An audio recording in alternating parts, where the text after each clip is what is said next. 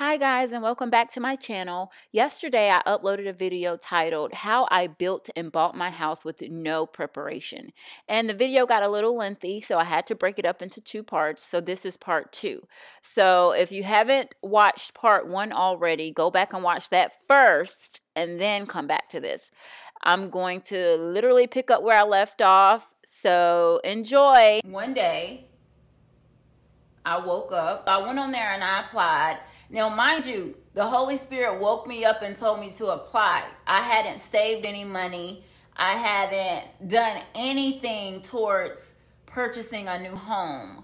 So I just got on there and I applied just right then. Mind you, Jeremy still is the only one with the income and I'm at home with two children. So we got approved and we got approved for $290,000 which normally I would have been excited about because the first time around we only got approved for 150,000. So it kind of seems like God gave us a little bit more this time around. So I was grateful and appreciative, but I knew 290 was probably not going to get us what we wanted or was looking for. So I still went forth with it. I got a realtor and she started showing us properties and houses and neighborhoods and lots and all kinds of stuff. And none of them were looking the part. Like our townhouse that we paid $150,000 for was way better than the properties we were seeing at 290 because mind you this is years later so what we got back then for the price we paid is unheard of at this point because it's like 5 years later and the market has changed drastically so yeah, 290 is basically like having 150 all over again, if you want to be honest. So we're going around, we're looking, and I'm trying not to get discouraged because I'm like, well, maybe I didn't hear God. Maybe that wasn't Him. Maybe this was a mistake. You know what I'm saying? Because we're not really seeing anything. Then one day, like not even a week later, after like viewing all these opportunities, the lender she emailed me and was like, "Hey, I was just sitting here going over your paperwork, and I think we're going to increase the amount that you qualify for." Now, I knew we only qualified for the 290 because we only had the one income, right? And I hadn't asked her to relook at anything. I haven't sent in additional documentation, none of that, because I was already just grateful for for qualifying for the little bit that we qualified for. And so she was like, Yeah, I'm gonna go ahead and boost it up to about 350. So she went from 290 to 350 in less than a week without me doing anything at all. So now we were starting to look at different properties. and it literally went from like night to day, but they weren't that much better. So then I was like, you know what? We should build, okay? Another step of faith. Because girl, what? You barely can get in a house and you want to build. What does that even entail? What does that look like? What does that consist of? How do you like, you know what I mean? so, um I ended up seeing a lot that was available like literally down the street, right? And we called and she said that in order to reserved a lot, she would need a $5,000 down payment. And so I don't know if you guys know, but when you build a house, you have to buy the land that you're going to build it on first. So that's kind of scary because what if I buy the land and then like something falls through with the house? You know what I mean? Like, I don't know. I had so many questions going into it, but you have to buy the land first. So that's where that $5,000 down payment came is like to reserve that lot of land that you're going to be building on. So that she needed that almost immediately. She said that the lots were selling like hotcakes. And it's a new neighborhood with 50 brand new houses. It's a neighborhood that did not exist before. And it was going to be a completely new community and I went on their little blueprint map and I chose the biggest lot in the neighborhood. As you can see right here, lot number 40, which is the lot that we chose, it costs the most. The $5,000 was just a down payment, but the total cost was the 12000 and some odd dollars that you see on the screen. And that also was an indication that it was probably the biggest as well because it did cost so much more than the others. I remember the reason why we wanted to leave our townhouse is because we wanted more yard. So I figured a bigger lot equal more yard. So I'm like, $5,000? Where am I going to get $5,000 from? I didn't have $5,000 saved up. But guess what? My husband was able to borrow it from his pension, which is cool. Borrowing is fine because he pays it back in his paycheck. So all that's going to go back into his retirement plan. But that was just really, really cool that that money was readily available right there. And they overnighted the check and we were able to give it to him just like that. That wasn't anybody but God. So during and throughout this entire process, my husband and I are fasting and praying for the first three days of every single month. And we made that a routine. So whenever we fasted and we prayed, we always wrote down our requests and our expectations. One thing that you guys need to know about fasting mixed with prayer is that fasting is like dynamite to your prayer. It catapults it to the 10th power. So prayer works, but fasting really works. It's like I don't even I can't even explain it. But it's like if you ask for five dollars when you pray, but then you couple fasting with it, the prayer would have gotten you like maybe ten dollars. But fasting will get you five hundred.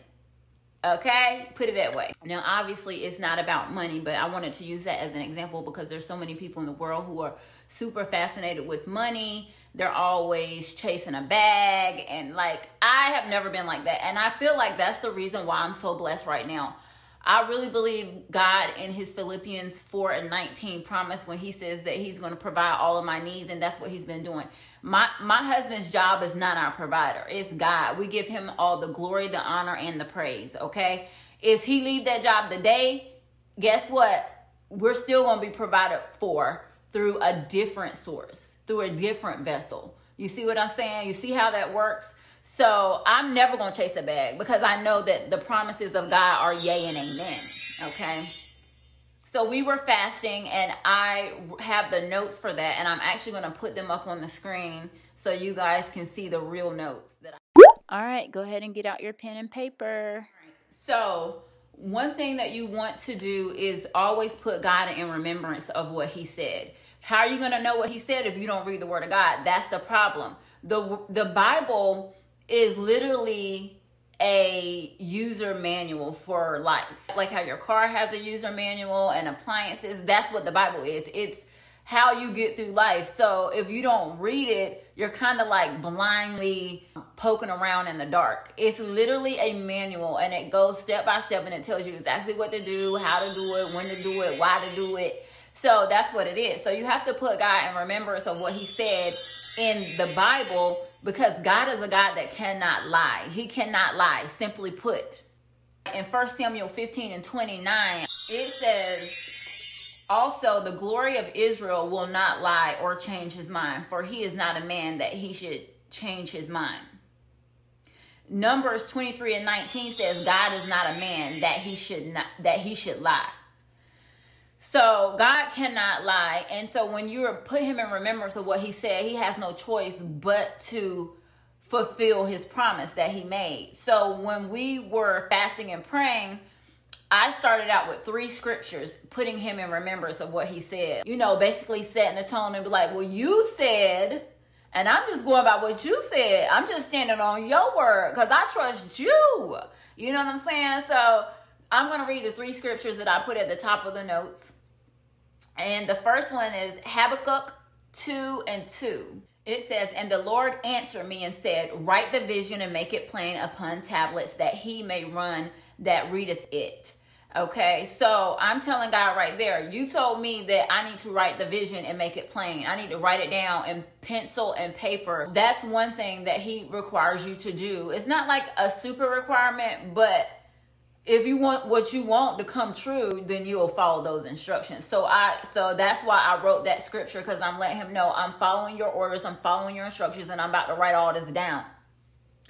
So the next scripture is Philippians 4 and 6, and it says, Do not be anxious about anything, but in every situation, by prayer and petition, with thanksgiving, present your request to God. And so I am praying, I'm petitioning him, and I also had thanksgiving in my heart when I presented my request to him. So it literally says, do not be anxious about anything. That's number one. That's the first part of the scripture. But in every single situation, you need to pray about it. By prayer and petition, with thanksgiving in your heart, then you go to God and you present your request to Him. Now, let's look up what petition means. Petition is a formal written request, okay? So clearly, he wants you to pray. He wants you to write it down. He wants you to have thanksgiving in your heart. And then he wants you to come and present your request to him, according to Philippians 4 and 6. So that's what I did. Because, you know, I'm just reminding him. The third scripture that I wrote down was Mark 11 and 24. And it says, Therefore I say to you, whatever things you ask when you pray, believe that you receive them and you will have them. So he basically saying, you need to really, really trust and believe that whatever you're asking me for, you're going to receive it. I am going to perform. I am going to execute. I am going to follow through. I am going to fulfill your request. You have to believe that, right? So I started out with those three scriptures. I felt like that was good to put him in remembrance. And then after that, I went into my request. Now, one thing I will say about my request is that I also coupled my request with a scripture as well because I want to put a scripture with my request that is speaking specifically about what I'm asking. Okay, the other three were just in general about getting my prayers answered. Well, now I'm going to read to you verbatim what I wrote down, and you guys are going to be like, wow, because this is very organized writing. Um, it's kind of lengthy and it's detailed and that's how you have to be with god. You like that with your job. You like that when you're in, enrolled in school. So why wouldn't you want to be like that with god? So the first one says we are requesting for a successful sale on 201 colinga lane. We are asking that the sale is seamless effortless easy and a smooth transition. We're asking that there are absolutely no hurdles that we must jump through and no obstacles that we most must overcome we're requesting that we make a profit of $100,000 on the sale of our current home. This is the amount we want to walk away with after paying off our current home, our home equity loan, and the 2% down payment and all of our credit card debt. And the scripture that I coupled with that was Psalms 84 and 11. And, it, and that scripture says, For the Lord God is a sun and a shield. The Lord bestows favor and honor. No good thing does he withhold from those who walk uprightly. So I'm letting him know, like, I'm walking uprightly. I'm not fornicating. I'm not shacking up. I'm not having kids out of wedlock. I ain't gay no more.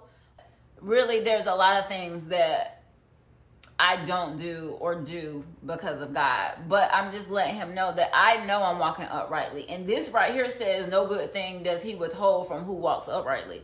So I'm I said what I wanted and now I'm saying you shouldn't withhold this from me because I'm doing what you requested me to do. All right guys, we have come to the end of this video. It's going to have to be to be continued. There's going to be one more part. There's going to have to be a part 3. Unfortunately, because this video is so long, so I'm going to go ahead and finish editing this and get it uploaded tonight. And then I will have part three uploaded tomorrow. So do yourself a favor and make sure you're caught up. Talk to you guys later. Bye.